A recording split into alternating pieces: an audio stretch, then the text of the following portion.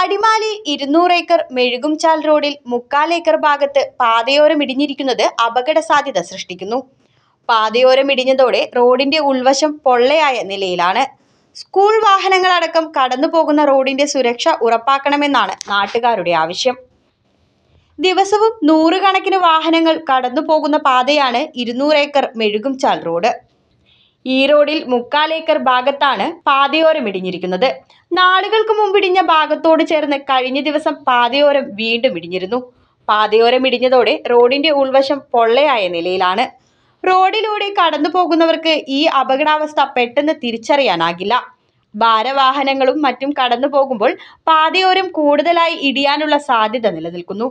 School വാഹനങ്ങളടക്കം കടന്നു പോകുന്ന റോഡിന്റെ സുരക്ഷ ഉറപ്പാക്കണമെന്നാണ് നാട്ടുകാരുടെ ആവശ്യം. മെഴുകൻചാൽ റൂട്ട് റൂട്ടാണിത്.